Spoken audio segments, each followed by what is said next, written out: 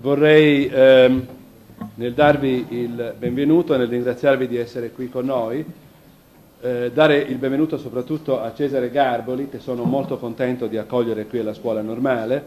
Cesare Garboli, eh, come tutti eh, sappiamo, è uno dei maggiori saggisti e critici letterari che noi abbiamo oggi, eh, che si segnala eh, per una scrittura straordinariamente sorvegliata e per una eccezionalmente intelligente, vorrei dire, mescolanza di acume interpretativo e rigore eh, filologico. Queste sono uh, cose che raramente stanno insieme a questo grado. Questa è la principale ragione per cui eh, lo volevamo oggi. Ha anche ehm, eh, una eh, straordinaria storia eh, personale da raccontare, che mi guarderò bene dal raccontare, Voglio solo ricordare due o tre cose, la eh, capacità di scrivere, di muoversi su tanti registri che vanno dalla poesia al teatro alle arti figurative, eh, la capacità di essere contemporaneamente saggista, interprete, storico e eh, scrittore, la eh, capacità, la riflessione sulla traduzione, sul teatro, la capacità di organizzare eh, le, eh, di organizzatore di eh, cultura, in particolare come direttore di Paragone Letteratura, e eh, quanto ai suoi libri non, non vi eh, faccio eh, una lettura della sua bibliografia che sarebbe troppo lunga, però vorrei ricordare alcune cose, a cominciare da Penna Papers del 1984, gli scritti servili del 1989, eh, 30 poesie familiari di Giovanni Pascoli, che ricordo anche nell'azione al tema di questa sera, Ricordi tristi e civili del 2001, Pianura proibita che abbiamo, alcuni di noi hanno presentato a Pisa recentemente nel 2002, una serie che vorrei ricordare in particolare di libri della piccola biblioteca Delfi dedicata a testi inediti, introvabili o dimenticati, fra cui il giornale di Matilde Manzoni e particolarmente a me caro le lettere e scartafacci di Bernard Berenson e Roberto Longhi. E infine questo straordinario meridiano di Pascoli, i due volumi dello straordinario meridiano di Pascoli che egli ci ha donato molto recentemente, un eh, libro in cui ha mostrato, in cui smontando e rimontando il corpus pascoliano e intendendolo come tale in una totalità che ingloba il Pascoli poeta e quello prosatore, il dantista, eh, ci ha proposto e ci proporrà, ma credo che ne sentiremo parlare da lui subito, una eh, immagine non solo inedita e in attesa di Pascoli, ma probabilmente vera. Do la parola a Cesare. Grazie, grazie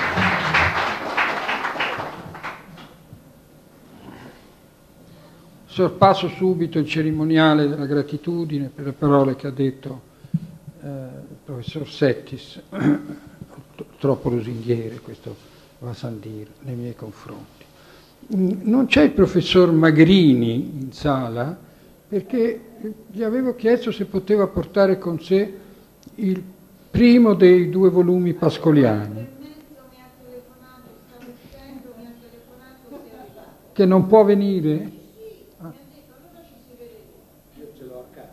Eh già, quindi qui non c'è un volume, no?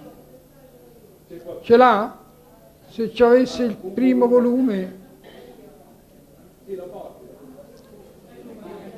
Ecco Giacomo, ecco Giacomo.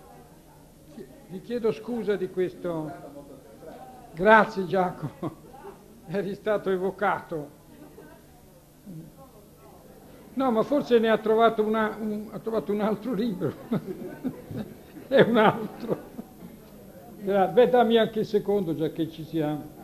Ti dispiace? Scusami Giacomo. Grazie. Io ecco, chiedo scusa di questo piccolo contrattempo. Eh, esprimo qui anche un, un, certo, un, certo, rammarico perché so che eh, io sono qui a inaugurare il ciclo dei venerdì eh, organizzato da Salvatore Settis e per esprimere la mia gratitudine verso di lui per avermi chiamato qui a parlarvi, eh, in realtà io avrei dovuto, voluto, voluto eh, parlare del libro di Salvatore Settis, di Italia SPA, eh, perché è un libro del quale bisognerebbe parlare a lungo. Eh, lo dico senza alcuna piaggeria, perché le piaggerie si giustificano quando si vuole intraprendere una carriera. Io non ho l'età per, per farlo, quindi mi manca l'obiettivo, mi manca la materia stessa. È un libro, io voglio dire, che mh, mm, eh, non solo eh, mette a fuoco un problema che, come voi sapete, è oggi in primo piano nella nelle leggi che si stanno studiando per la conservazione e, ahimè, per l'alienazione del patrimonio culturale italiano. Ma eh, non solo perché è interessante, ma anche perché è inquietante. È inquietante perché i problemi che emergono dalla lettura di queste pagine eh, sono tra i non pochi che ci affliggono nella congiuntura istituzionale e politica che stiamo, eh, che stiamo vivendo. In modo particolare, io non ho letto tutto, se non ne avrei parlato oggi, avrei chiesto a Settis di parlare proprio di questo. Purtroppo ne ho letto solo metà, è in corso la mia lettura, però c'è un capitolo intitolato L'arte, l'Italia, l'arte e il petrolio, dove si stabilisce una continuità di prese di posizione nei confronti del patrimonio culturale italiano che risale addirittura al ministro Gianni De Michelis, passa attraverso Veltroni e la Melandri e arriva oggi alle prese di posizione di Tremonti. Questo è un capitolo di grandissima importanza. Invito tutti a leggerlo. Eh, il secondo rammarico è che io sono un po' mh, agitato nel, nel parlare di Pascoli perché in questo momento la mia concentrazione va tutta a un intervento chirurgico che devo subire domani mattina alle 8.30 alle cateratte. E allora alle cateratte mi dicono tutti che, che, sono uno scherzo, che è una cosa da nulla, e allora eh, passerò a parlare delle cateratte, io, delle di cateratte che io ho fatto all'opera del Pascoli, nella speranza che togliendo, che to- che togliendo una impalpabile cortina eh, le opere del Pascoli potessero risultare perlomeno in una percentuale, eh, in una percentuale attendibile nuove. Questo era il mio, era il mio intento. Mm, non, non ho mai amato l'opera del Pascoli, lo devo confessare. Ed è molto strano che, mh, per, mh, sono molto strani i misteri per i quali io, se posso usare questa espressione volgare, me lo sono trovato tra i piedi. Non, non, non, non so neppure io come è stato. Ricordo, rivedo, mi rivedo, scusate, è, una, è, un antefatto che racconto per spiegare come mai sono arrivato a, a, a quest'uomo, a quest'opera. Mm essendo questa antologia più una morfologia che un'antologia, è uno studio delle forme che ha, ha assunto di volta in volta l'espressione sia in prosa sia in versi del Pascoli, e sia quella italiana sia quella latina. Mi rivedo mh, una trentina di anni fa, no di più, mezzo secolo fa, 50 anni fa, doveva essere il 52 mi rivedo in una sala eh, della banca commerciale della piazza Santi Apostoli a Roma, dove ero stato convocato da un terzetto di luminari, da mm, eh, Natalino Sapegno, da Contini e da Schiaffini, e soprattutto da un quarto luminare in tutti i sensi, da Raffaele Mattioli, i quali varavano allora la storia della letteratura italiana storia e testi, edita da Ricciardi. E questo quartetto insigne ha, convocò eh, me e, e un, un, giovane che poi avrebbe dato molta prova di sé, e, e, e Pietro Citati. E, mh, mm, fu anzi citati a telefonarmi a dirmi guarda che ad avere questo colloquio e insomma decretarono che l'antologia eh, relativa agli scritti di D'Annunzio sarebbe stata fatta da, da citati, quella relativa al Pascoli sarebbe stata fatta da me.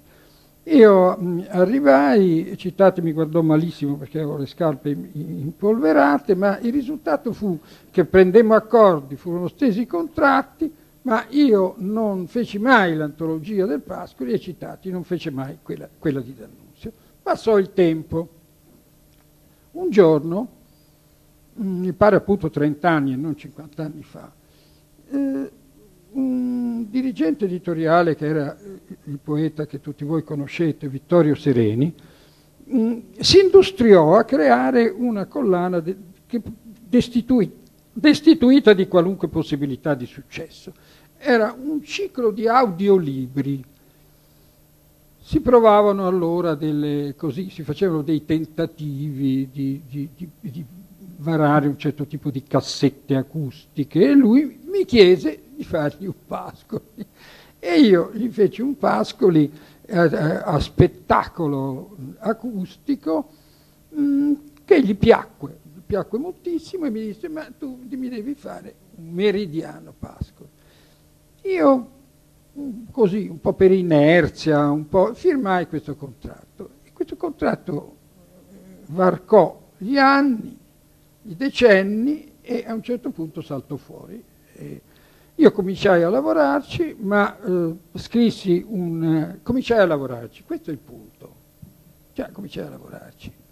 Era il 1979. Io mi ero... avevo la, lasciato Roma, era un anno dopo l'omicidio di Moro. Io avevo lasciato Roma nell'anno in cui fu ucciso Moro e mi ero trasferito in una casa di campagna che avevano i miei genitori i quali erano già morti entrambi, mm, nella valle di Camaiore.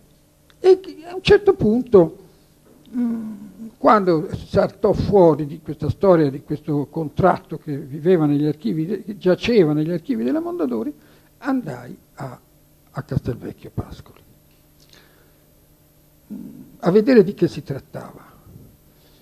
Lo spettacolo fu sensazionale perché Mm, tutto quello che io sapevo di Pascoli, e un po' ne sapevo, perché venivo da un'università fatta con un certo scrupolo, tutto quello che sapevo di Pascoli si infranse. Eh, di fronte a un mare cartaceo, un oceano cartaceo, a una selva di cartigli, autografi, che la sorella del Pascoli aveva conservato nel suo studiolo. Una mappa autografa che mh, mm, rappresentava un'immagine alternativa rispetto a quello che io avevo letto a stampa di Pascoli più o meno fino al 1898-900, cioè agli ultimi anni dell'Ottocento. Dopodiché dal 1900 in poi la mappa autografa, se sovrapposta alle stampe pascoliane, risultava più o meno, mh, mm, insomma, mh, mm, presentava una certa equivalenza. Anzi, quello che Pascoli aveva stampato a partire dal 1900 corrispondeva ai testimoni autografi. Ma fino al 1890 97, 98, più o meno fino alla stesura di quelli che diventeranno poi i poemetti 1900, che sono mh, una raccolta molto difforme dai poemetti del 1897 e dai primi poemetti del 1904. Tutto questo periodo, in tutto questo periodo, questa mappa di cartigli beh, forniva un'immagine di Pascoli che, che mi dava delle notizie completamente diverse su quest'opera. La cosa mi incuriosì Ma mi incuriosì soprattutto un fatto. In quel piccolo e malaugurato, ma anche simpatico audiolibro, io avevo lasciato cadere una frasuccia recitata da, da, da, da un attore che imperso- impersonava Pascoli e diceva di se stesso io non sono potuto crescere. E era una frasuccia mia che mettevo in bocca a Pascoli tracciandone così dall'esterno un ritratto. Frugando in questo mare di cartigli, in questo oceano di cartigli, ah, mi imbatto in un testimone autografo di una delle più belle poesie di Pascoli, le quartine di Casa Mia, il quarto testo del Ritorno a San Mauro, e nei cartigli preparatori di questa serie di quartine c'è una prosetta quasi indecifrabile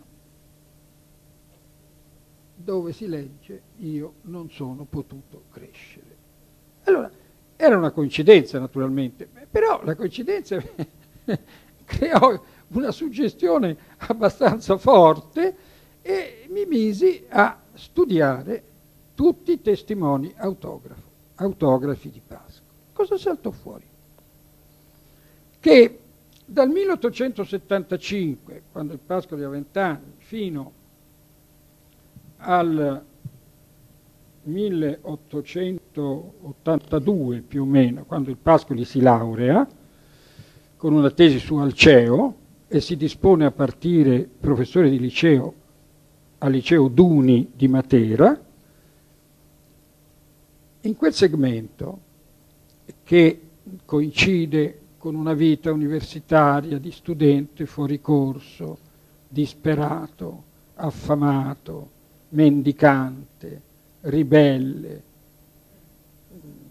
preso dalla polizia e messo in prigione perché ha partecipato ai tumulti, era amico eh, di Andrea Costa. In questo periodo ci si trova di fronte a un giovane eh, che viene dalla provincia, che viene da, viene da San Mauro, dalla Romagna, e arriva a frequentare le lezioni di Carducci ed è vivissimo di testa e di ingegno.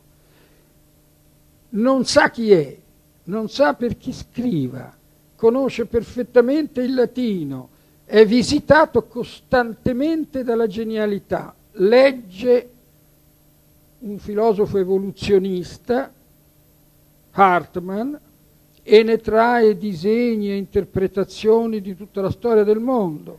Legge sulle orme di Carducci, del Satana di Carducci, la Sorcière di Michelet.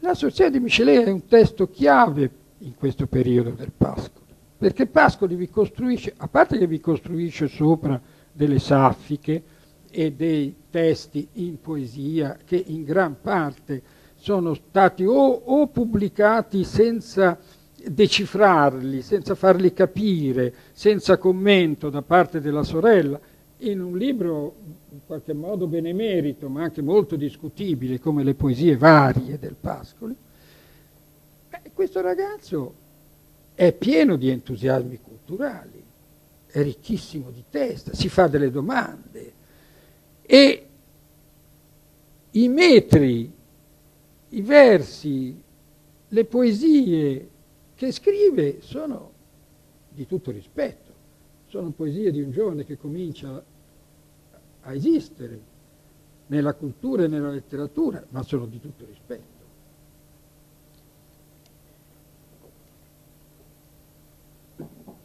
Di questo materiale autografo ricchissimo, quando io cominciai a frequentare la casa del Pascolo a Castelvecchio, era stata pubblicata una minima parte dalla sorella Maria.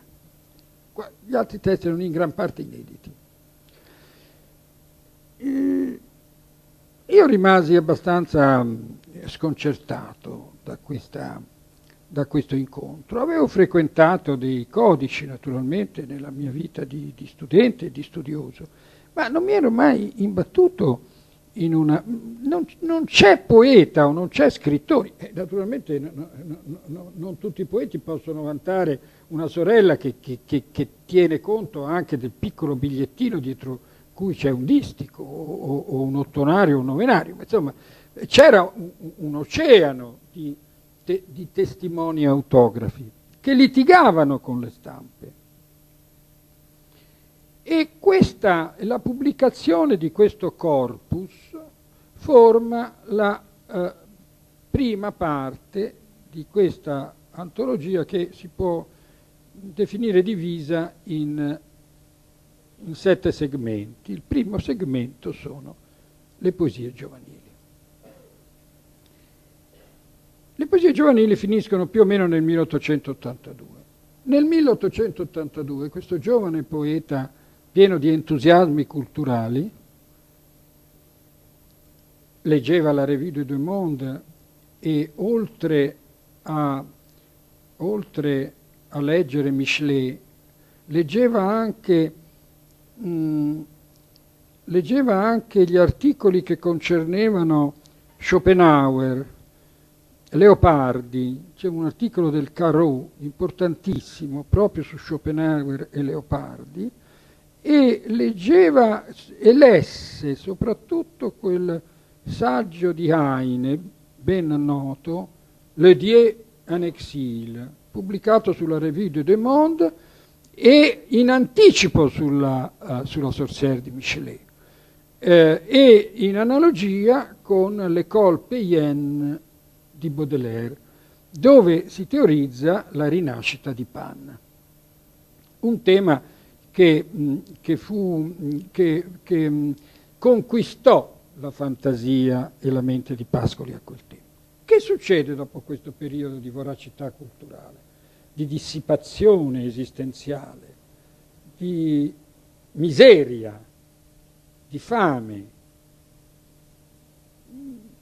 questo ragazzo che ha circa 28 anni si mette su famiglia, come spesso succede ai giovani che sono appena laureati. E il tema coniugale è un tema che si incontra molto spesso. Il fantasma femminile occupa parecchi di questi testi inediti giovanili, si accasa, si sposa, ma si sposa con due sorelle, che incontra queste due sorelle che stavano in convento e gli piglia, non si sa per quale ragione, forse per una sorta di narcisismo morale, di generosità in cui specchiarsi, o per il fatto di essere sempre vissuto da solo, senza appoggi, è un senza famiglia. E ce l'ha. Ha due sorelle in convento, lì Sant'Arcangelo di Romagna, Sogliano, Rubicone, e decide di portarseli in casa. Sono due ragazze, due romagnole, giovani, sode, tra i 16 e i 18 anni, che non desiderano altro che lasciare il convento, questo fratello mitico, le porta a vivere a Massa dove ci sono gli aranci e costruisce una famiglia è un sogno straordinario, eh, che non ha nulla, ma se volete si può anche chiamarlo un incesto sublimato, comunque un incesto mistico, perché è inutile stare a frugare nella psicologia di questi rapporti interfamiliari del Pascoli. Il Pascoli aveva bisogno di una famiglia, la trovò con queste due sorelle e inventò il nido inventò, inventò questa, fece questa costruzione degna di un poeta, impraticabile, invivibile, perché ciascuno recitava tutti i ruoli che permette una famiglia. Pascoli era sposo, fratello, marito, figlio, le sorelle erano spose, madri, sorelle, figlie, tutti recitavano tutti i ruoli e tutti giocavano a cominciare la vita e a inventarsi la vita. sogno sublime, mistico e profondamente perverso, meravigliosamente perverso. Mm. Questo tema misticamente incestuoso ha valore soprattutto perché in queste due sorelle così giovani, il bel giovane che era Giovanni Pascoli, bellissimo, capelli biondi a riccioli che gli cadevano sulle spalle come un teenager di, di, di qualche anno fa, di qualche decennio fa.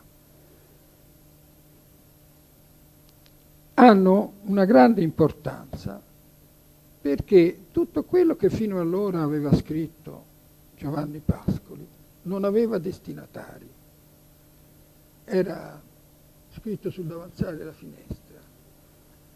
Eh, lo stesso poeta non sapeva né perché parlasse né a chi parlasse. Come porta in casa queste due sorelle, il giovane Pascoli trova un pubblico, incontra un pubblico e soprattutto imposta la propria voce sulla frequenza che poi diventerà costante. Scrive Virginibus puerisque, come dice il famoso epigramma di Marziale. Marziale si rivolge a uno che lo aveva attaccato perché eh, scriveva di, di, di, porcherie e dice sì è vero, io scrivo di queste cose e tu fai quello che ti pare, scrivi pure Virginibus puerisque con disprezzo. Pascoli prende questa questa espressione e ne fa il proprio programma. Questo secondo segmento è rappresentato in questa antologia dal settore delle poesie familiari, poesie che si scrivevano, le scrivevano anche le sorelle, che si scrivevano i tre fratelli Pascoli in questo nido dove solta, si respirava solo l'ossigeno che partiva dalla famiglia non arrivava nulla dall'esterno, era un sistema chiuso, era una famiglia completamente chiusa. Intanto il Pascoli scrive per coloro che invece si sposano con sogni meno sublimi e perversi e riempie di opuscoli nuziali dei fascicoletti e dei quadernetti che noi ritroveremo nelle mirice. La storia del nido dura per tutto il tempo in cui il Pascoli pubblica le diverse edizioni delle Mirice. Questo mm, è il punto dal quale, un altro punto dal quale io sono partito. Noi conosciamo le Mirice e le leggiamo nella loro versione.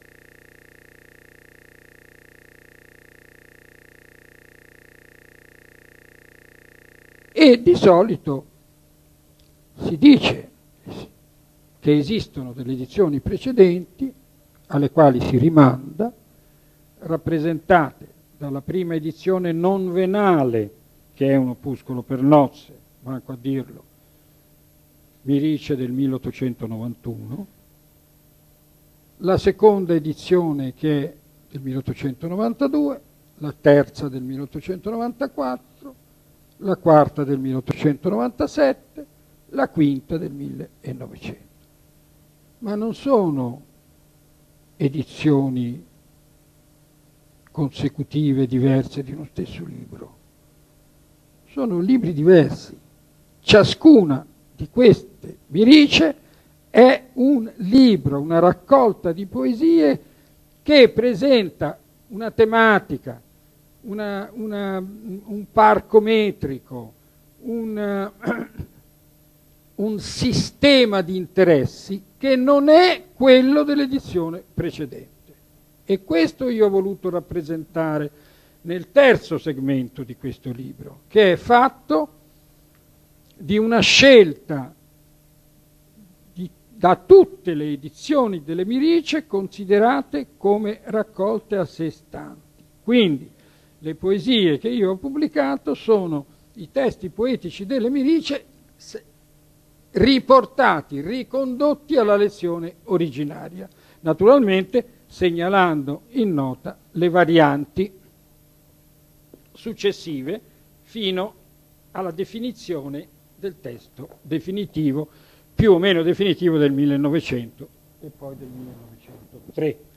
Questo significa, e me ne rendo conto, un arbitrio, un sopruso, una violazione di quello che il Pascoli ha voluto, perché io ho smontato le mirice, le ho disarticolate, io le ho rappresentate, ma credo di avere dimostrato che le potevo rappresentare perché ciascuna di queste edizioni ci fornisce una raccolta di testi completamente diversi. Non solo, ma se si leggono le diverse raccolte, eh, i testi poetici che noi leggiamo nell'edizione definitiva pigliano un altro colore, un altro significato, un altro valore. Ci dicono delle cose, se rappresentate a seconda degli anni in cui sono state scritte, quindi nella loro lezione originaria, diverso da quello che ci appare se noi le leggiamo nell'edizione definitiva. È come se al di là di una serie di quadri che io ho davanti agli occhi, io potessi scrostare l'ultima mano di pittura e arrivare a vedere che cosa c'era dietro. E allora cosa si vede dietro? Si vede dietro che le mirice raccontano in sei edizioni diverse la storia del nido, la storia di, di un sogno che si è dissolto quando il Pascoli aveva 40 anni, si è dissolto in termini drammatici e tragici, perché una delle due sorelle risponde al richiamo elementare della vita, cioè al richiamo dell'amore e del sesso, e si sposa. Così facendo infrange un patto mistico, il patto mistico che i tre fratelli Pascoli avevano firmato insieme. Pascoli ha 40 anni. Che fa? Lo dice lui stesso. Muore muore. Muore, per usare un'espressione pascoliana, misticamente. L'ultimo testo in quartine, un testo dimesso, elementare, in decasillabi,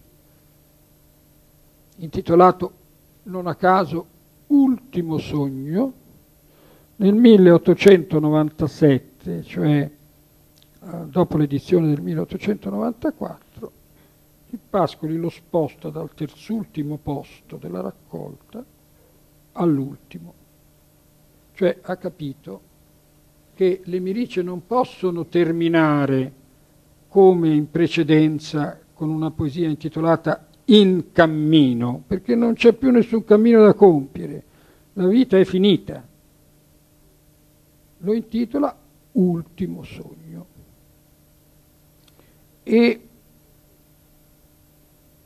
questo testo recita un immoto fragor di carriaggi moventi verso l'infinito.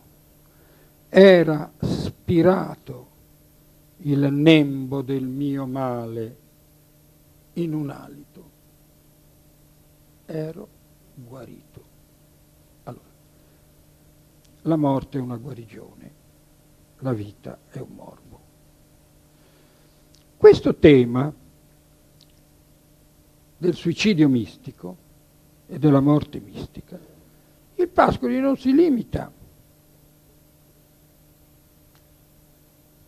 a poetizzarlo per sé, ma uccide anche colei, il Pascoli uccide anche colei, che era stata la fonte del sogno. C'è una saffica intitolata Crisantemi, dove si immagina che una ragazza venga sotterrata, ma ve la leggo. È una saffica che va letta. Chiedo scusa, ma le caterate impongono che io non vedo nulla. Non vedo né con questi occhiali né con, con gli altri. Allora, scusate, ma ora... Dunque, qui, sì, è qua. dovrebbe essere qua.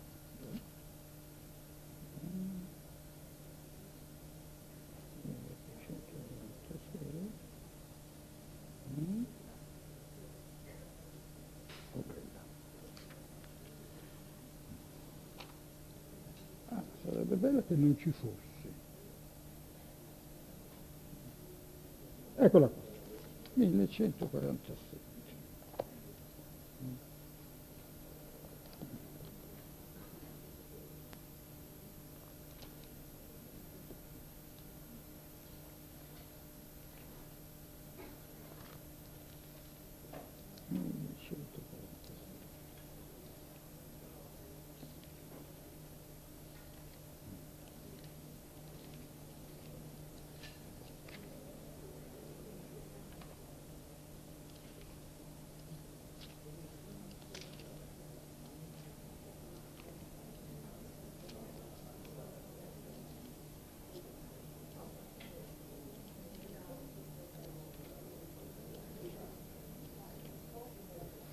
Questa, questa poesia è, in qualche modo si connette a, al tema dei fiori velenosi, è il tema di Suor Virginia, di Puccini, e mh, presenta anche qualche analogia musicale con Suor Virginia di Puccini, nel senso che eh, ci sono dei ritmi e delle movenze eh, che vanno all'incontrario, cioè un, men- mentre un motivo corre in un senso, ce n'è un altro, come l'accompagnamento al pianoforte, che corre in un altro.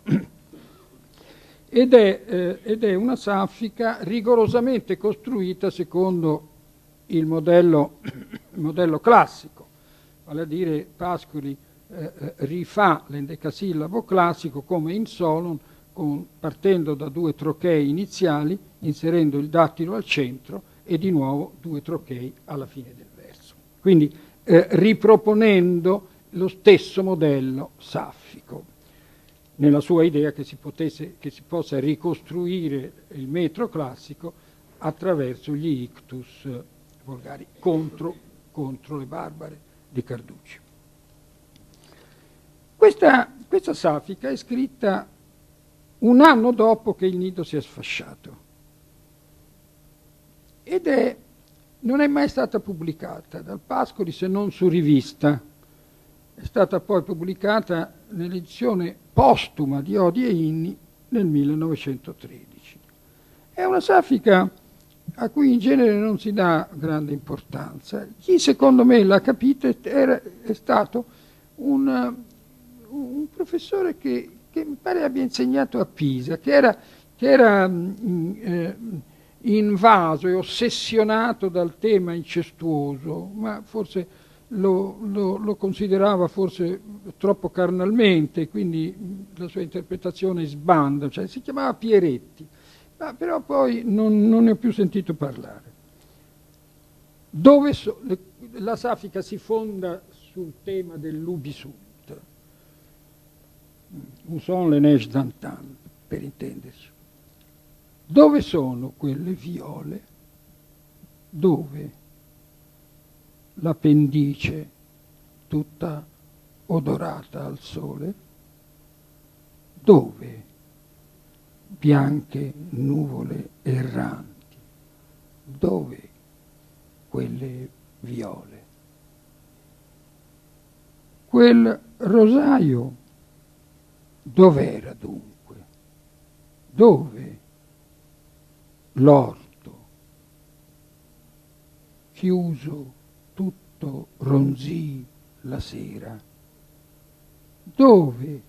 Nero stormo fuggente, dove, dove, dov'era? Nubi vanno, fuggono stormi, foglie passano in un empito, via, di pianto. Tutti i fiori sono ora là.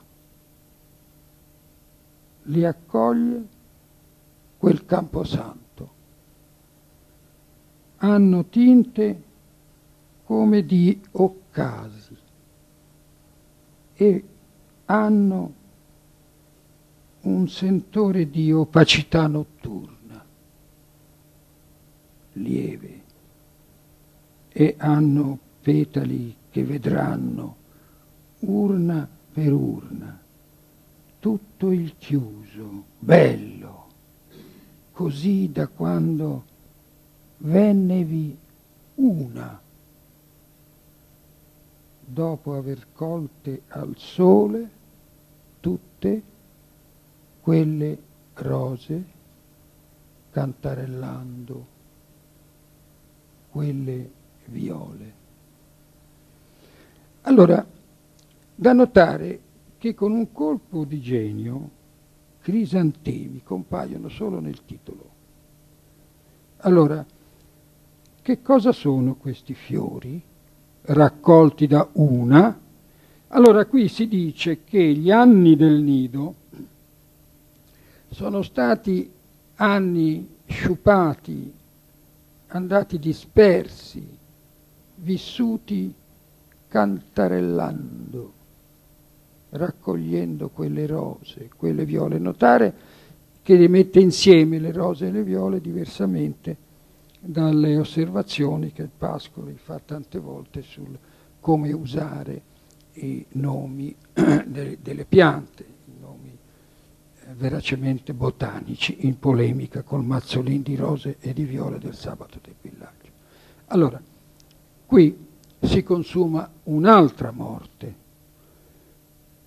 perché vennevi una e che il Pascoli con grande fermezza ha chiuso con il passato del nido, si è ucciso e provvede in questa saffica a uccidere anche la sorella. Suicidio mistico, omicidio mistico. Siamo nel 96. Due anni dopo l'omicidio mistico sarà quello di Rachele, in digitale purpurea. E il suicidio mistico nel 1895, un anno dopo Ultimo sogno di Mirice, dove c'è la morte come guarigione, e un anno prima di Digitale Purpura, e due anni prima, no, e un anno prima di Crisantemi, la morte mistica occupa tutta la saffica recitata dalla donna di Eresso in Solon, dove il Pascoli utilizza due frammenti di Saffo. Splende al plenilunio l'orto e il melo, di nuovo due trochei, dattilo centrale, due trochei terminali, utilizza due frammenti di Safo dove, guarda caso, manca l'elemento centrale della versione che ne fa Pascoli, l'orto. L'orto in Saffo non c'è.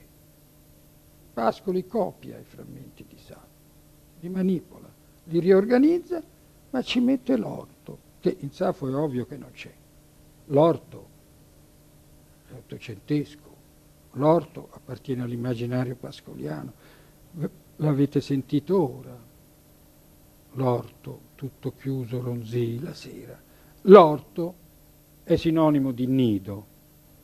Allora, Solon dichiara la stessa morte dichiarata alla fine delle Mirice e dichiarata in Crisantemi. Sono gli stessi anni. Di lì a due anni la morte sarà quella di Rachele in digitale purpurea. Passano ancora due anni e nel 1900 la morte mistica verrà identificata dal Pascoli nel passaggio dell'Acheronte nella Divina Commedia. Dice Pascoli che il poema dantesco va letto come un'Iliade del cristianesimo, perché è il poema dei battezzati senza effetto. Dante, per passare dalla vita attiva alla vita contemplativa, deve morire alla morte, rappresentata dal peccato originale, e per morire alla morte deve passare l'Acheronte. Passare l'Acheronte vuol dire morire. A questo punto Pascoli ha già creato un rapporto di immedesimazione tra se stesso e il poema dantesco. Questo avviene a partire dal 1900. Si, le- si possono leggere gli scritti danteschi, che sono qui largamente rappresentati nel secondo tomo, come un'autoanalisi. Del resto siamo in tempi freudiani, 1900. Pascoli era costantemente visitato dalla genialità. Si è inventato un Dante Alighieri a suo uso e consumo. Nulla probabilmente di quello che dice il Pascoli intorno a Dante è attendibile, però ha una capacità di suggestione assolutamente straordinaria. La lettura che fa il Pascoli di Dante è un'autoanalisi condotta davanti a uno specchio in termini al tempo stesso ciechi e veggenti. Dante serve al Pascoli per interpretare e decifrare se stesso e nello stesso tempo gli dà lo strumento per rimuovere completamente la tematica di cui lui è stato portatore. Vale a dire, attraverso la lettura del poema dantesco, Dante eh, Pascoli si rivela a se stesso e si occulta e così facendo occulta tutto quello che avevano raccontato le milicie. La storia del nido che è leggibile. Faccio un esempio. Andiamo a leggere una poesia come Il nido.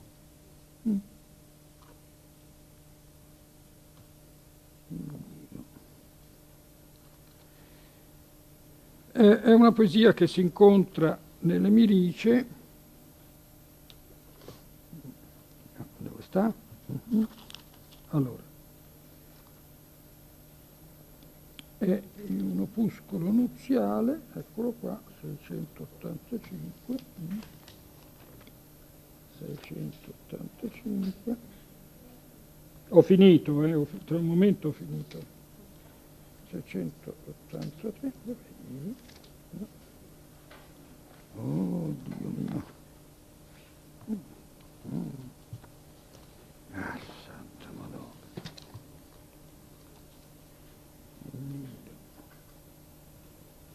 685.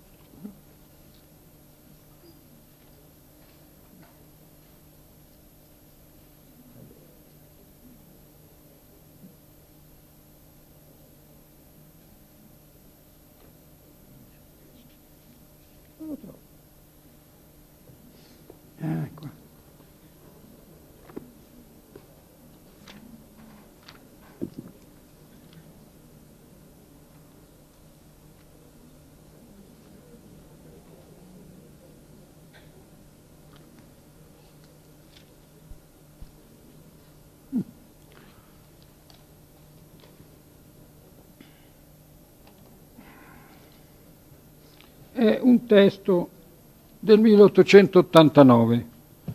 1889, il Pascoli è già a Livorno, il, questo incesto mistico, questa famiglia mistica che ha creato insieme alle sorelle, si sta, si sta sfasciando. Si sta sfasciando perché è un, è, un, è, un, è un, legame coniugale, è un matrimonio dove manca l'elemento carnale. Ora, Pascoli, nella sua visionarietà, ha cercato di fondare una famiglia sulla carne dei morti, ma eh, la carne dei morti non c'è. Ci vuole un'altra carnalità perché esistano i matrimoni e le famiglie.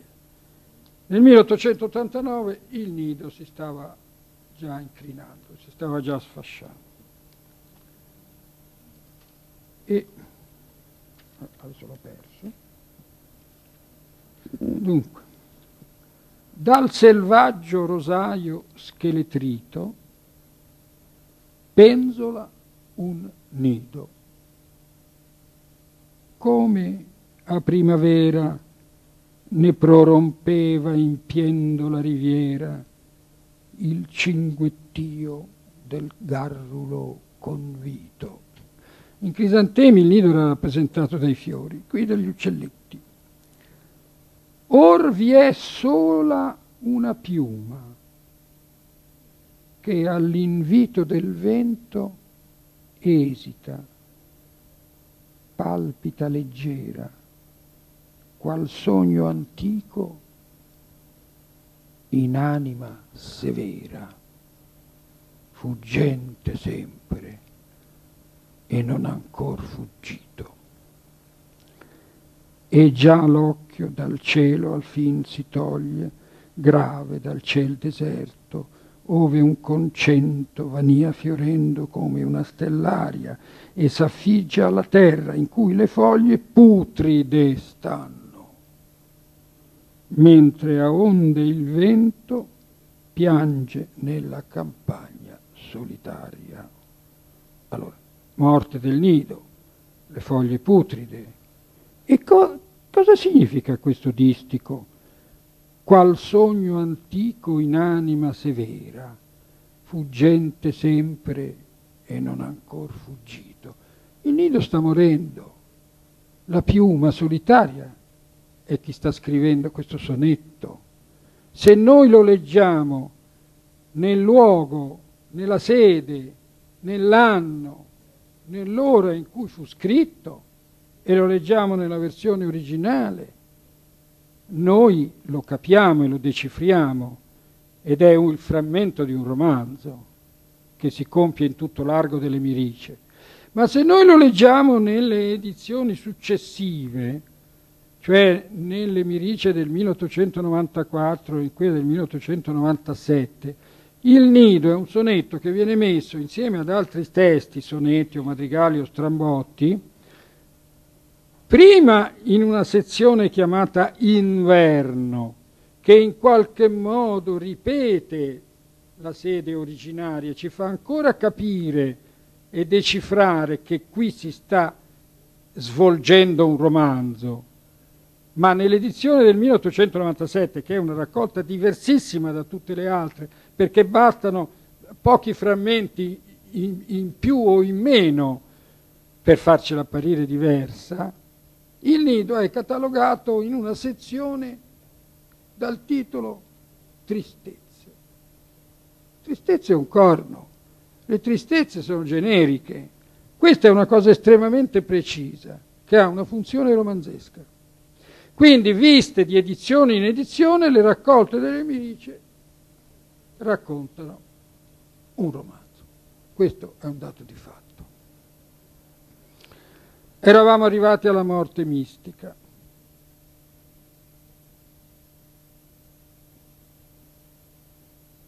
La interpretazione di se stesso allo specchio di Dante che fa il Pascoli segue, poi ho finito, segue di qualche anno un altro, un'altra ossessione da cui fu visitato il Pascoli, che ha un aspetto di grande interesse letterario, ma anche un, aspetto comico. Perché un giorno a Francavilla al mare D'Annunzio, che stava allora scrivendo La città morta, una bruttissima tragedia, e scrisse al Pascoli un bigliettino, eh, così si era svegliato una mattina e gli si dice, senti, eh, come tradurresti tu i cori dell'Antigone di Sofocle? Perché lui aveva bisogno di, di, di mettere dei cori in questa tragedia. Apriti cielo.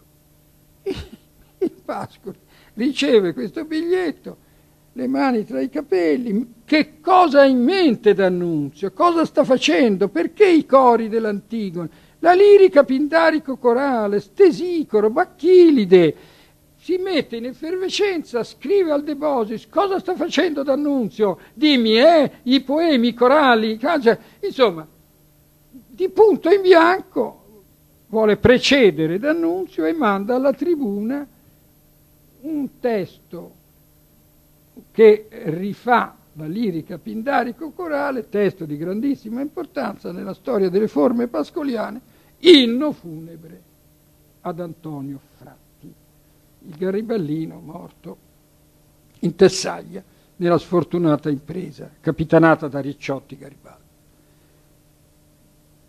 Allora, l'inno funebre ad Antonio Fratti inaugura la serie delle odi e degli inni pascoliani, perché Pascoli ha convogliato la sua produzione in tante raccolte diverse, ma le poesie risalgono a molto prima di quando lui ha raccolto eh, eh, i suoi testi, per cui mh, il paesaggio che descrive la produzione pascoliana al di fuori delle poesie complete edite dal Pascoli e dalla Zanichelli insieme è un paesaggio completamente eterogeneo rispetto a quello delle stampe. La lirica pindarico-corale che, al quale Pascoli si dedica più o meno negli anni tra il 97 fino al 1906, ma soprattutto negli anni della fine del secolo, produce una, eh, un meccanismo di grande interesse. Perché da una parte Pascoli celebra le vicende eroiche di tutto il garibaldinismo, il risorgimento, Mazzini, il Duca degli Abruzzi, Umberto, chi più ne ha più ne metta, con una, con una eh, creando una sorta di modello stilistico che, una, che presenta una vincente analogia con le copertine della Domenica del Corriere disegnate da Beltrami, che, che hanno qualcosa di pindarico, perché sono al tempo stesso eroiche, civili, il decesso di Verdi, il traforo del massiccio alpino, il Freius, il ritorno delle ceneri di Colombo e la Domenica del Corriere, eh, verseggiata in, in termini di, di, lirica corale pindarica. E questo eh, se non che Pascoli non si ferma qui, perché Pascoli era un uomo di cattivo gusto, ma in qualche modo cioè, veramente era un uomo geniale. Che fa? Capisce che se lui,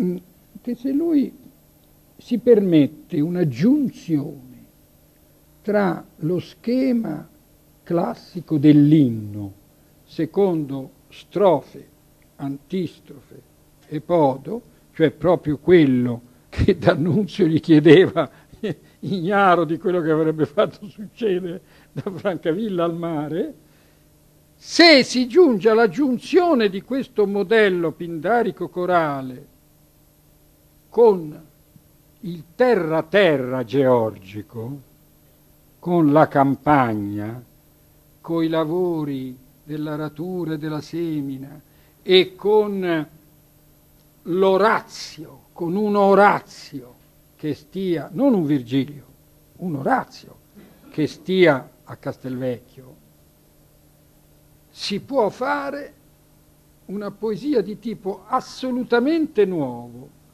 E Pascoli la fa e le dà un nome, l'eroico contadino, l'eroico familiare. Per fare questo Pascoli nutre lo schema pindarico corale di strofe, antistrofe e podi col verso più prosastico che esista nella tradizione lirica italiana. Un verso che è in prosa, il novenario. Si sente un galoppo lontano. Si sente un galoppo lontano. I canti di Castelvecchio nascono da questa giunzione. L'ideale poetico dell'eroico contadino.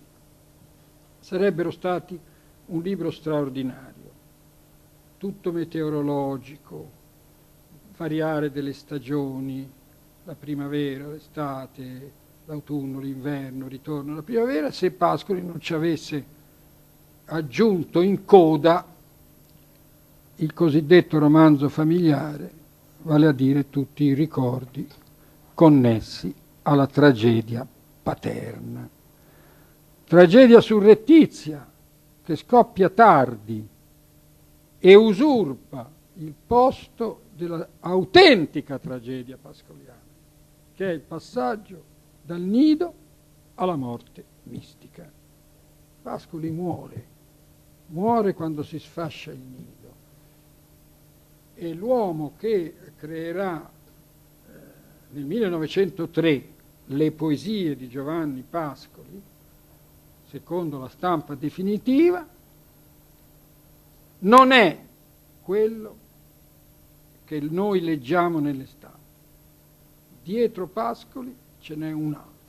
Io sono andato a caccia di quest'altro. Questo mi è successo e la difficoltà di questo libro è stata di mettere insieme due tempi convergenti. È difficile spiegare l'intoppo che ho dovuto superare, perché i libri hanno un tempo.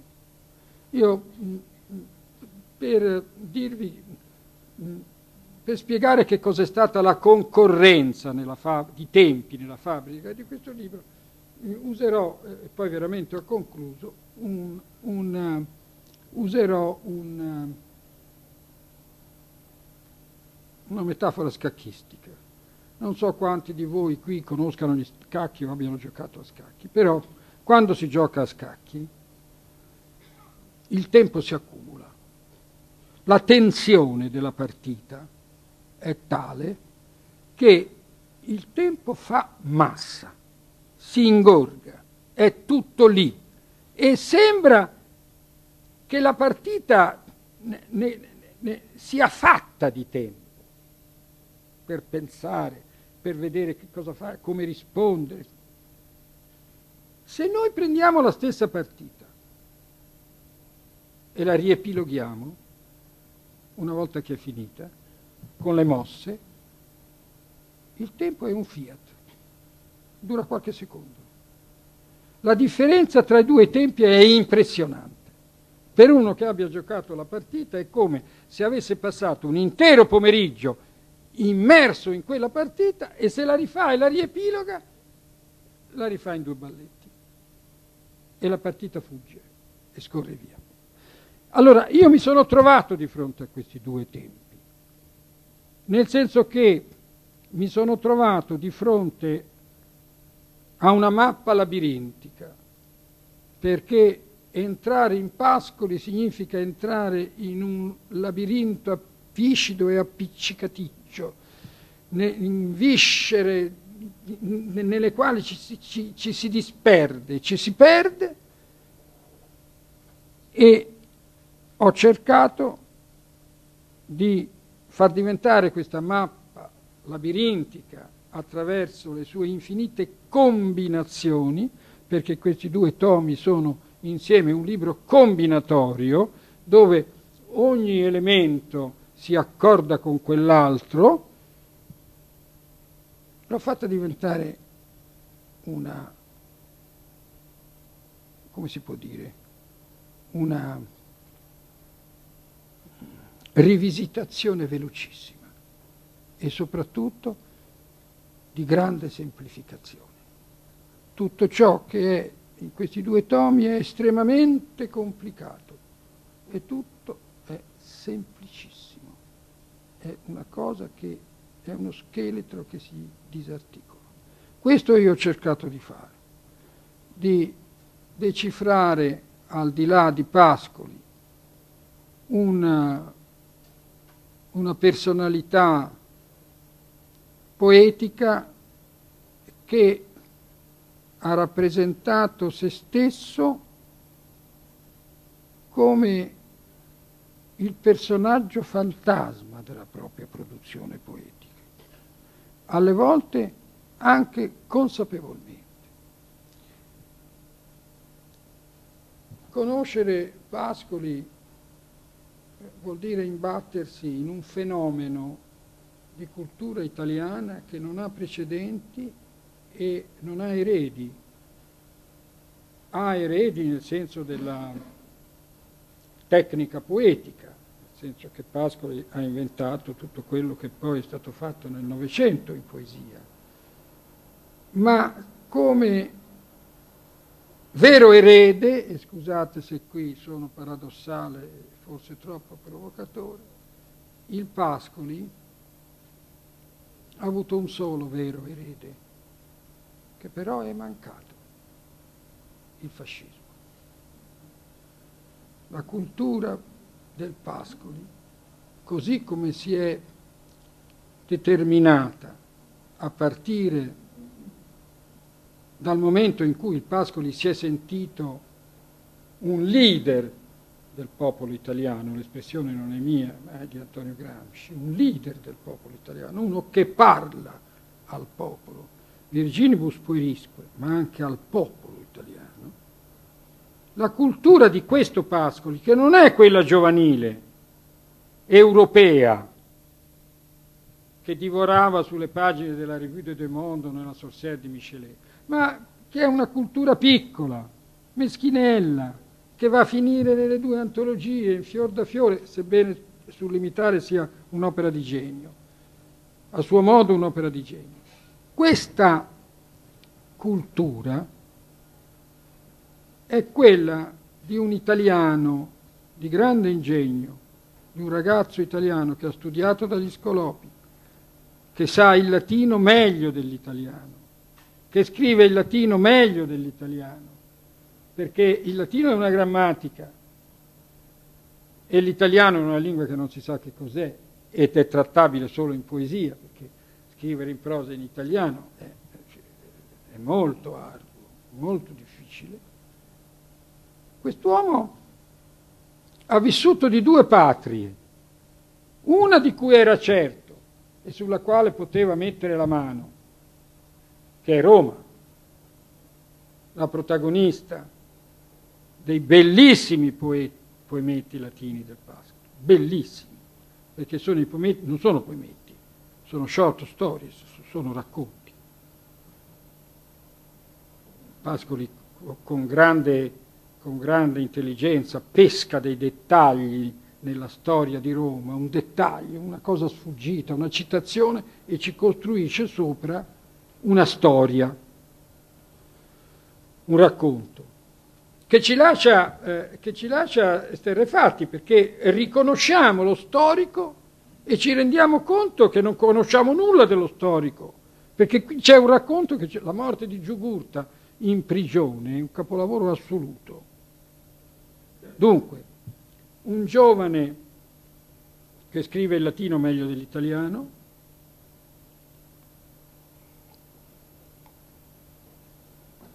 protagonista di due patrie. Una nella quale non fa che dire, presagendo tutta la tematica intellettuale novecentesca, chi sono? E la risposta viene dalle campane. Le campane mi dissero chi ero.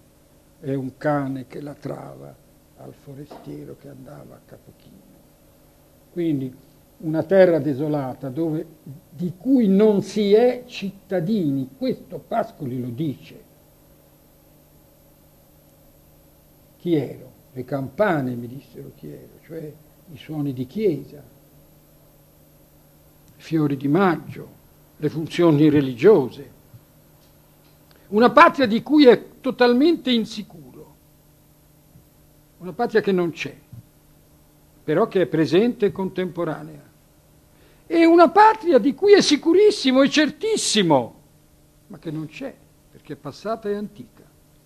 Roma. Questo è il Pascoli latino e il Pascoli italiano.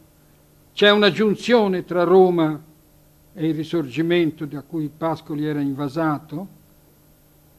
L'Italia risorgimentale che il Pascoli ha cantato con lo schema, strofe, antistrofe e podo di quel D'Annunzio che lo faceva tanto sospirare, o che temeva che D'Annunzio avrebbe potuto usare prima di lui,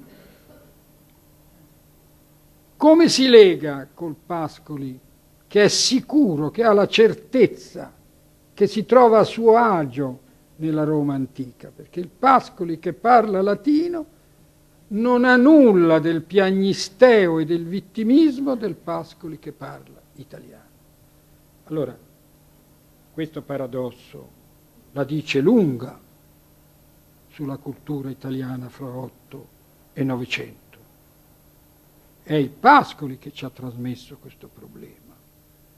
È il Pascoli, ahimè, che ci dice chi siamo. Questa è la ragione per cui io l'ho studiato. Vi ringrazio.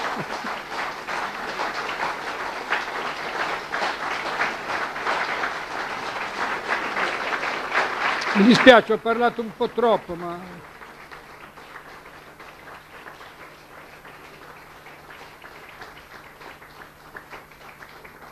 Io vorrei che qualcuno, non so, mi dicesse, contestasse qualcosa, vorrei dare a, a, a Magrini, a Giacomo. Giacomo. Qualche domanda?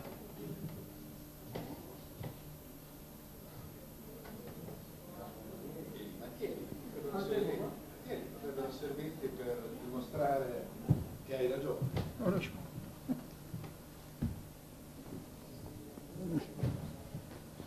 Professor Bassani. Voglio chiedere una cosa. Voglio chiedere una cosa. Come si inseriscono i poemi conviviali in questo percorso che lei ha tracciato della, della vita, della personalità del Pascoli attraverso le sue opere? Grazie. Uh, dunque,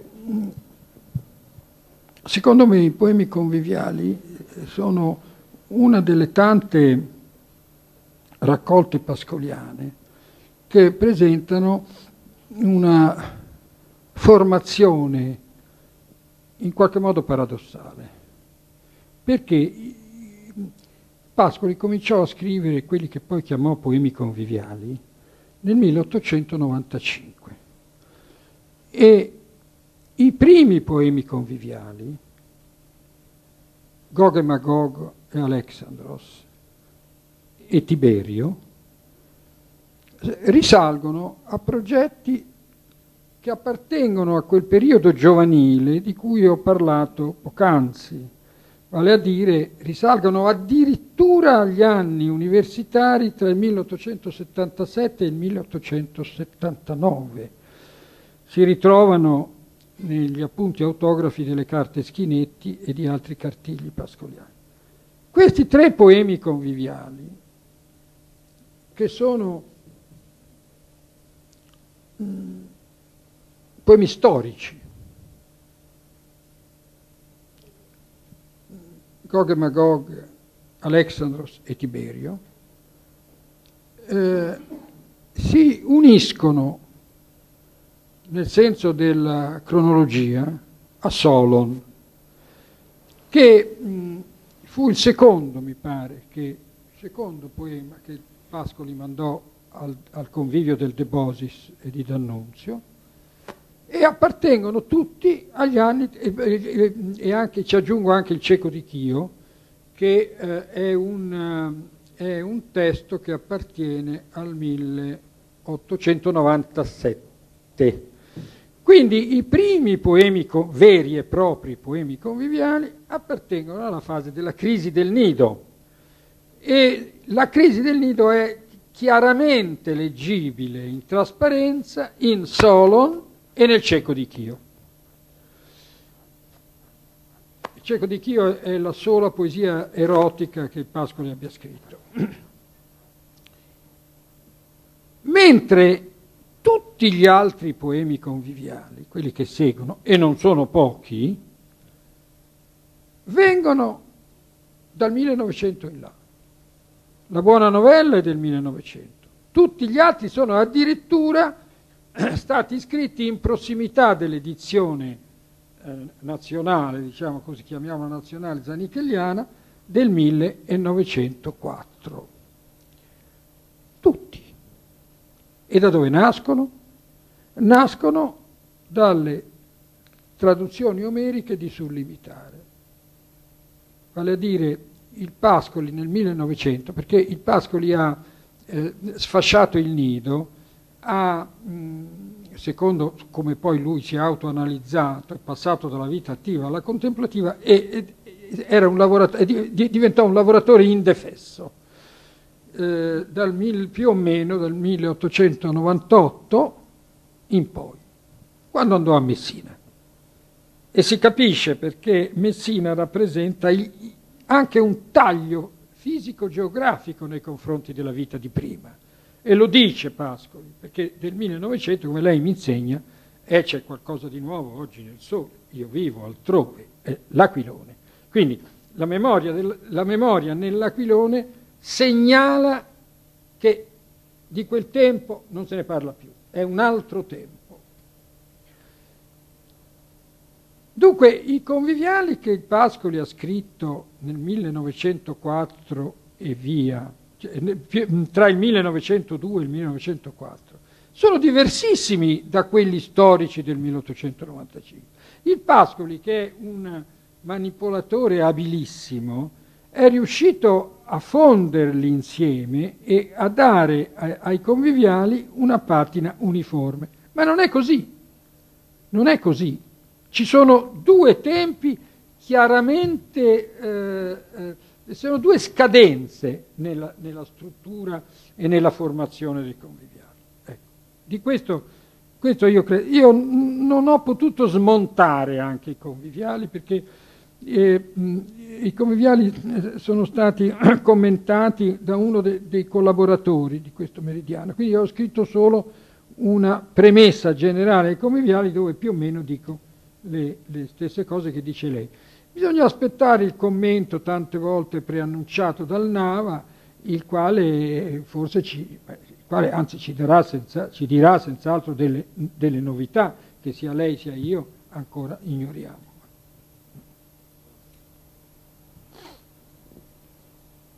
Bruna, no, non hai niente da chiedermi.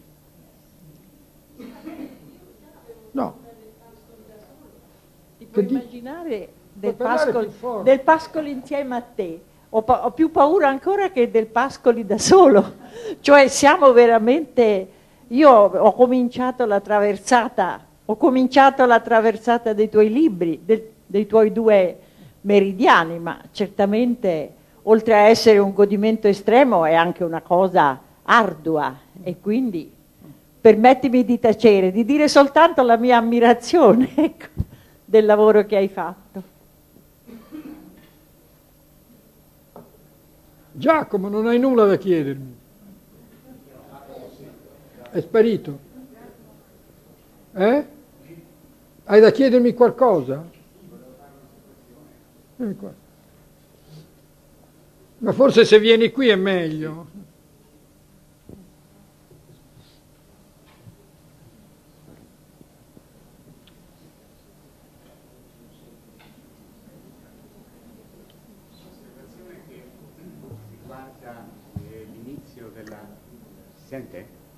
No. Allora ci vuole... Siedi qua. Siedi qua. Ah, riguarda l'inizio della prefazione, e cioè il, eh, il punto in cui fai un po' la storia della critica pascoliana, diciamo. che eh, come sappiamo diciamo, si, si, divide grosso modo in due, in due tronconi coincidenti eh, col, con le due metà del secolo scorso, insomma. E ehm, quando arrivi a parlare appunto del, della, del nuovo avvio della critica pascoliana a partire da Contini, e quindi anni 50, e tu fai appunto una, eh, una caratterizzazione di questo nuovo corso diciamo, della critica pascoliana, eh, basandoti soprattutto sulla, eh, diciamo, sia sul, sull'esplorazione diciamo, del, dell'archivio, sia sulla messa in rilievo dei valori formali. Senti quello che dico? Ho capito fino a un certo punto. Ah.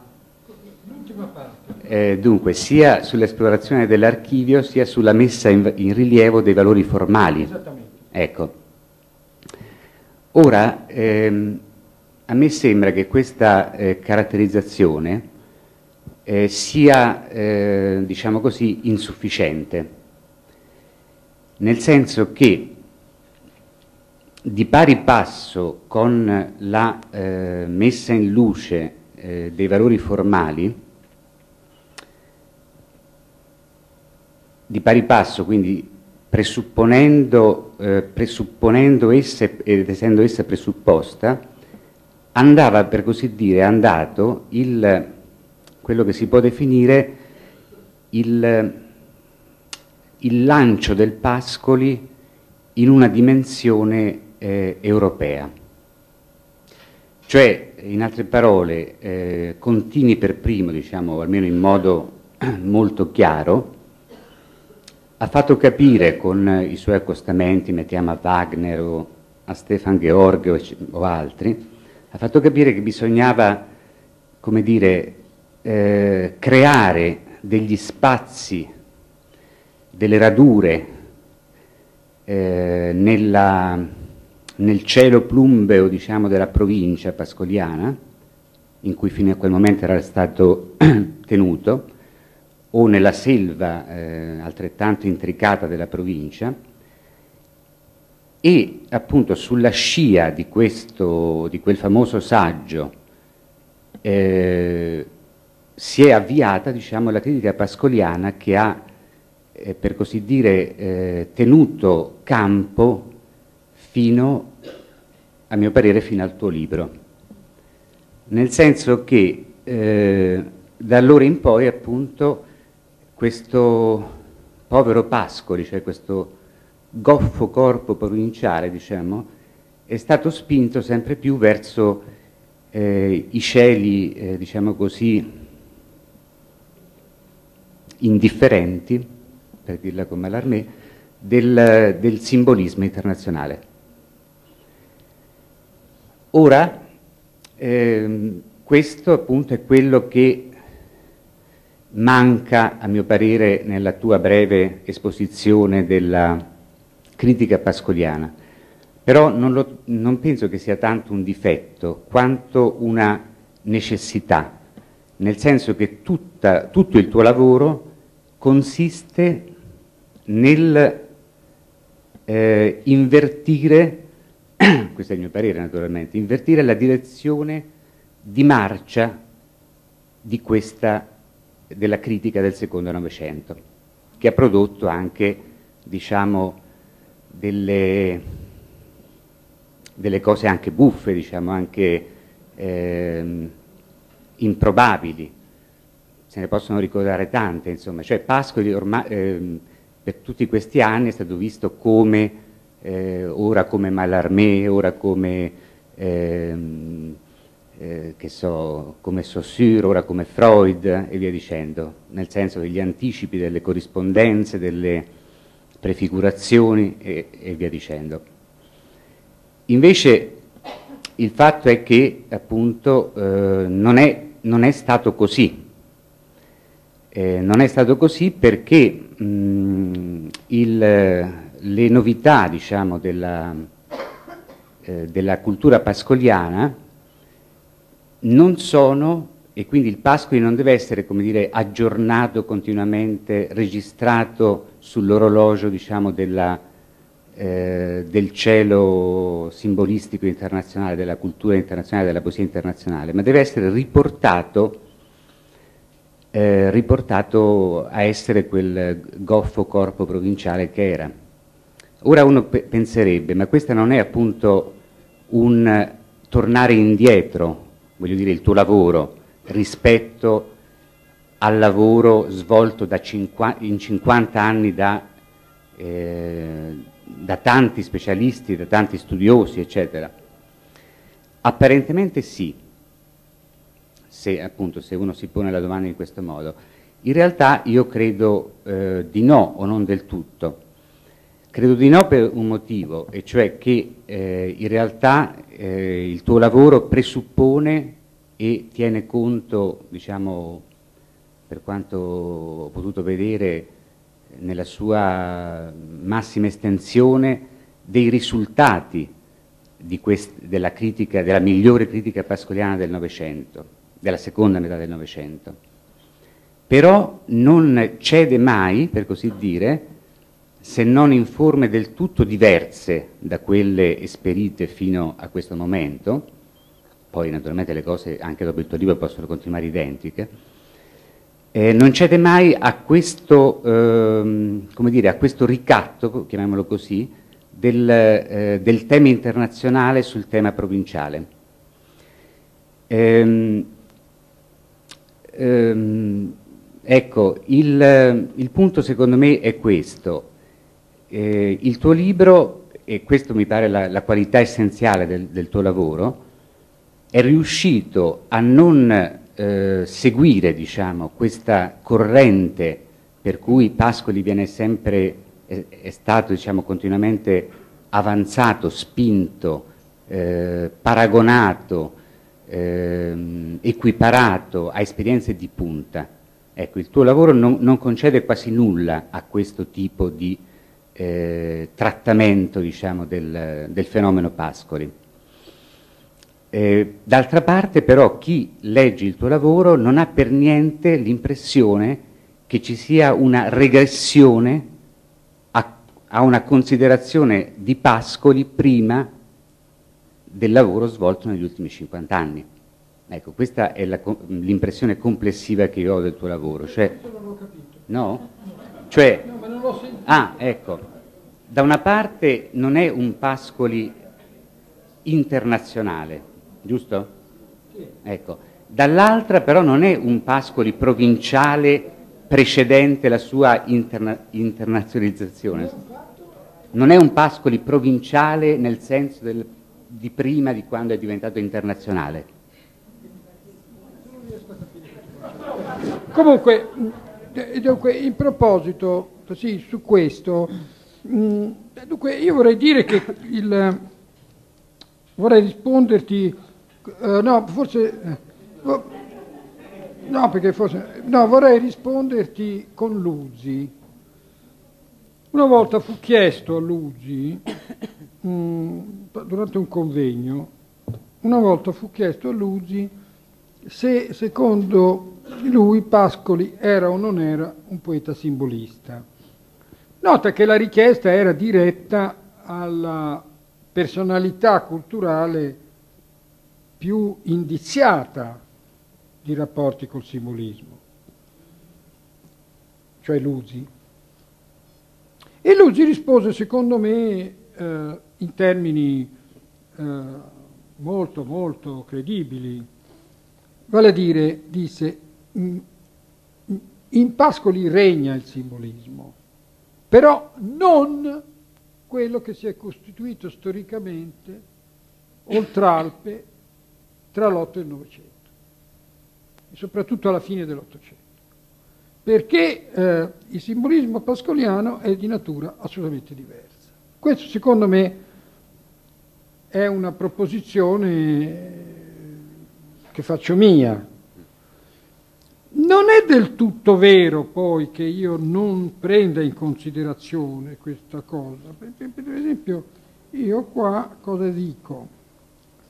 Eh, mi pare che dico chiaramente che è un problema che mi interessa fino a un certo punto. Ecco. Eh, dunque, il curatore di questo libro, i curatori sono quattro ma il colpevole uno solo, si dimostra, si, non è molto propenso a trattare problemi critici generali.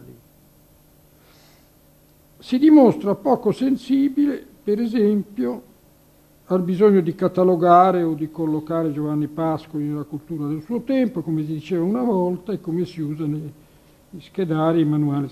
È anche poco interessato, il curatore di questo libro, al problema se il Pascoli sia poeta classico o alessandrino, rivoluzionario o conservatore, visionario o naturalista, simbolista o impressionista, e anche ad appurare il quoziente, eccetera, eccetera. Quindi io dichiaro che sì. questo non è un mio interesse. A proposito dell'annessione eh, della, delle forme pascoliane al simbolismo esperita da Contini, dunque, in primo luogo Va detto che eh, il richiamo a Wagner è un richiamo che Contini fa molto en passant, sì. molto en passant e giustamente, secondo me, senza dargli alcun rilievo, perché eh, Wagner e il wagnerismo erano moneta corrente, eh, basta pensare al fuoco di D'Annunzio, quindi, bah, insomma, è una di quelle... E io sinceramente credo che Pascoli, il quale di musica ne masticava pochissimo, nonostante le sue grandi capacità musicali sotto il profilo del codice poetico, ma eh, sai, Pascoli era uno che, che si inebriava a, a, a, sentire i crescendi di Rossini, insomma, quindi io ho l'impressione che, eh, che bah, di, di, Wagner, eh, di Wagner come dire, assimilato sotto un profilo eh, culturale a un certo livello, una certa qualità, non si possa parlare. Inoltre, io forse qualche cosa sul tema che tu hai trattato, ecco, vedi, nel, io ne parlo a proposito delle rane, eh, ah, della premessa alle rane, che mi ha dato, come dire, mi ha, mi ha, mi ha permesso di... Ma dove sta questo? Non trovo niente. E ecco, ritorno a Samaro, eccolo qua, l'era 1248. Mm, in sostanza, io che cosa vorrei dirti? Ma in Pascoli non c'è nulla che non sia simbolo. In Pascoli tutto è simbolo. Non, non esiste una, un incontro che lui faccia con la realtà senza vivere simbolicamente. Ma questo non vuol dire essere un poeta simbolista. No, no, no, non è la stessa vocazione. E non credo, perché il, il simbolismo di Mallarmé è un simbolismo eh, premeditatamente perseguito, mentre Pascoli non lo persegue sì, ma... le intenzioni di Pascoli Scusa, non è quelle. io eh, quello che volevo dire forse non mi sono spiegato bene o non mi hai capito. Ah, sì. eh, la mia osservazione voleva essere eh, positiva, non negativa, non era una critica. No, no, ma eh, vabbè. Cioè, volevo dire che il ma fatto di... non continuare a ma insistere... io non l'ho presa come negativa. No, no, mi spiego meglio. Il fatto di non voler continuare a insistere, diciamo, sulla... Mh, equiparazione di Pascoli ad altri artisti, ad altri scrittori della sua epoca eh, fuori d'Italia, è secondo me un, un, dato molto positivo perché questa equiparazione ha portato a delle conseguenze eh, che, sono, che hanno anche del grottesco addirittura. Mm, mi viene un esempio in mente, non so, quando eh, un ottimo studioso del Pascoli come Traina, non so, nella prefazione al, al poemetto Jugurta, no? eh, dice che Pascoli, per esempio, eh, anticipa in qualche modo quello che, che succederà poi ad Auschwitz. Ecco, che succederà ad Auschwitz. Sì, beh, vabbè, no, queste sono cose abbastanza significative, cioè significative di questo, non tanto di, una, di un entusiasmo personale dello studioso nei confronti del poemetto che sta studiando, dell'autore che studia, ma sono secondo me la conseguenza di questo scatenamento extraprovinciale ecco, che è stato, eh, diciamo... Sì. Beh, allora siamo d'accordo su un punto che... Eh, tu hai sembra... riportato, finisco il mio discorso e ripeto alcune cose di prima, hai riportato il Pasqua alla provincia eppure non c'è nulla di provinciale. Questo ecco, io ho voluto fare. Esattamente.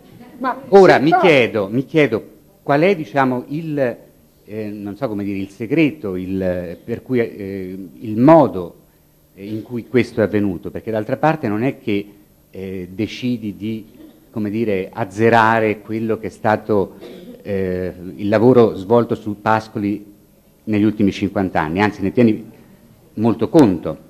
Ecco, io credo, io ho una risposta diciamo da parte mia, cioè proprio questo insistere sul nido e un nido che, come ci hai spiegato nella lezione di oggi, non è il nido originario, ma il secondo nido, quello costruito da Pascoli, ecco, penso che sia il nido la chiave di volta, di nuovo, di questa, eh, di questa finta regressione alla provincia. Cioè, in altre parole, il nido non è la provincia, il nido è qualcosa che, che è al di qua della provincia e quindi che può essere anche al di là della provincia.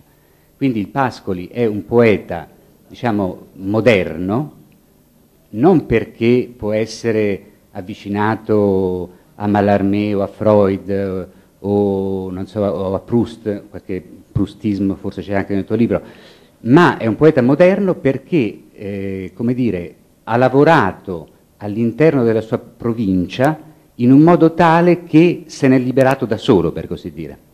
Ecco, ed il nido è questo, questo luogo della liberazione dalla provincia. Sì, non so se di liberazione, però io concordo pienamente con questo. Sì.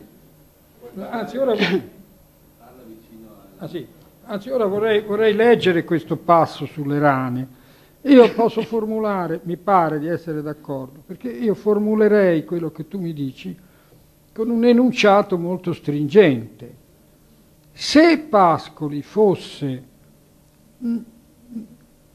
come, e questo un po' me lo dici tu, diciamo, se Pascoli fosse quel poeta congetturato da, da un uh, filone di critica, chiamiamola post-continiana, sì. cioè un poeta mh, riconducibile all'area del simbolismo europeo, così come il simbolismo europeo si è costituito nelle voci che gli appartengono in proprio, soprattutto Mallarmé, Beh, Pascoli sarebbe un poeta mediocre. Eh, invece no, non è assolutamente questo. Eh, eh, eh Pascoli non è provinciale proprio perché non è riconducibile all'area del simbolismo europeo. È, è, un fenomeno paradossale, è un fenomeno tipicamente italiano eh, che eh, ricondotto a modelli europei, come è vero che un po' si tende a fare ora nei commenti, e secondo me perde tutto il suo sapore, perché eh, diventa l'epigono di una, di una area poetica fantasma, perché non c'è i Pascoli. Io volevo leggerti questa, eh, questo eh, accenno. Beh, io torno a posto perché non, Come? Non, torno là perché ho finito. Sì. No, ma comunque volevo leggere questo molto rapidamente, 1248. 1248 dove sta? 1248, casa mia, ecco le rane. Vedi? Dunque, senti, scusa, mm, ecco, eh, a proposito delle rane, ecco,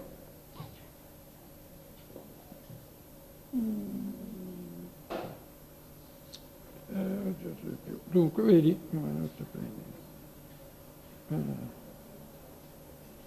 Ecco, il fracasso del treno, mezzo immaginario e mezzo reale che attraversa il testo delle rane come un'emicrania intollerabile, può definirsi un massimo di ribellione, sintomo tra i più acuti di sofferenza giunta al grado del non ne posso più. Il male, tuttavia, un po' più in là del singhiozzo del chiù o del latrato del cane di patria, nasce già riassorbito nella suavità ipocrita di un sistema che non ammette infrazioni. A pochi centimetri dal punto in cui potrebbe verificarsi l'éclairage non si manifesta. Nei primi anni del Novecento Rivière impiegò parecchio tempo ad accorgersi che ciò che lo affascinava in Rimbaud non era solo la capacità istantanea di dépasser le réel e il trouble che un certo Rimbaud gli dava, di sentirsi brusquement ailleurs, di essere depistato altrove. A un tratto Rivière capì che Rimbaud era l'homme qui, le premier, a senti qu'il y avait un autre paysage, correspondant à l'impression vertigineuse qu'il avait d'une matinée d'été, cioè la mattina delle rane. I sogni di un dì d'estate pascoliani si fermano prima di questa intensità e non la cercano il paesaggio altro.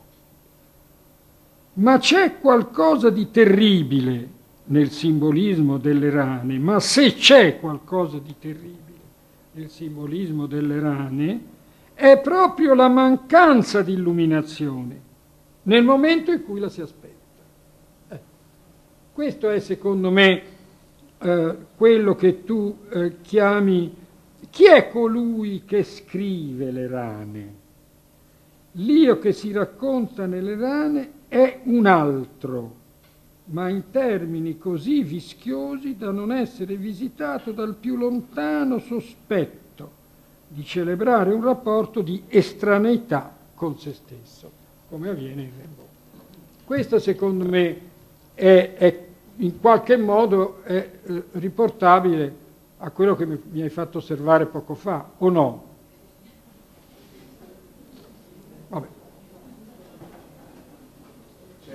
domanda? Sono. Allora, ringraziamo professor. Io, sì.